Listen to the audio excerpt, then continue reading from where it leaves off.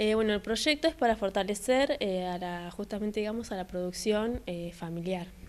se aprobó en septiembre y bueno y en noviembre ya se depositó el dinero. Contanos algunos detalles de este proyecto que ustedes presentaron. Bueno, el proyecto, digamos, tiene varios aspectos. nosotros lo abordamos de forma integral porque, por un lado,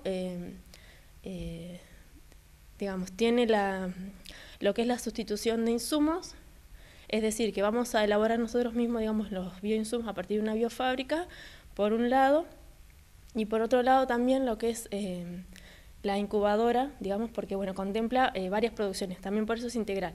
Contempla lo que es hortícola, avícola, ganadería, elaboración, eh, valor agregado y comercialización.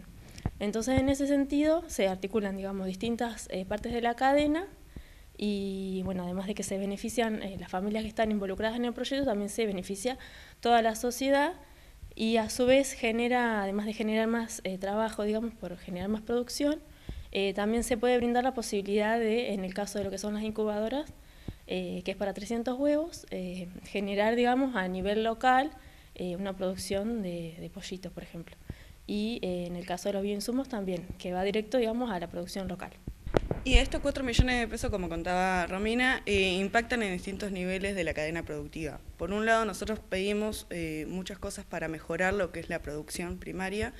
En ese sentido, o sea, pedimos mulching, cintas de riego, em, nylons, eh, pedimos silos, incubadoras, cosas por el estilo para desarrollar y mejorar la producción, eh, tanto hortícola como ganadera, como en los alimentos balanceados, y en la comercialización específicamente eh, con la mejora tecnológica. O sea, ahí pedimos una computadora y un celular, priorizamos bastante, como quien dice, la, cuestión productiva, y bueno, eh, básicamente nuestra idea es que por un lado se pueda mejorar lo que ya se produce, y por el otro lado que esto sirva para mejorar o como dar, incentivar la transición a la agroecología, que es una de las cosas que nosotros trabajamos como cooperativa. Como decía Romina, nos depositaron recién este mes, estamos, ya empezamos con las compras porque es un, es un subsidio no reembolsable. Eh, y nosotros lo que tenemos que hacer es eh, también comprar lo que dijimos y lo que presentamos en el proyecto. Eh, empezamos, iniciamos la semana, hace dos semanas con las compras en estos días se va a ir a retirar también eh, todo lo que es incubadora, eh, cintas de riego y bioinsumos a La Plata.